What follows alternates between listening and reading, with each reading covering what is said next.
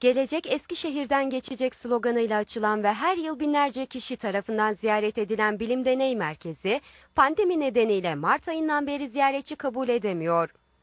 Çocukların yaz tatilini verimli bir şekilde geçirmeleri için her sene birçok etkinlik ve atölye düzenleyen merkez, salgın nedeniyle bu yaz atölyelerini de online olarak düzenliyor.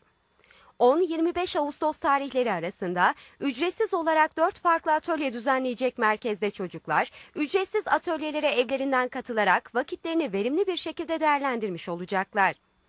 Artırılmış gerçeklik uygulamaları, görevimiz robot, tohum topları yapıyoruz ve gökyüzünü tanıyorum etkinliklerine 6-12 yaş grubundan çocuklar katılabilecek. Ebeveynlerin bilgi ve rezervasyonu için 444 8 236 veya 0530 774 0577 üzerinden kendilerine ulaşabileceklerini belirten Bilim Deney Merkezi yetkilileri, farklı atölyelerin online olarak gerçekleştirilmeye devam edeceğini ifade ettiler.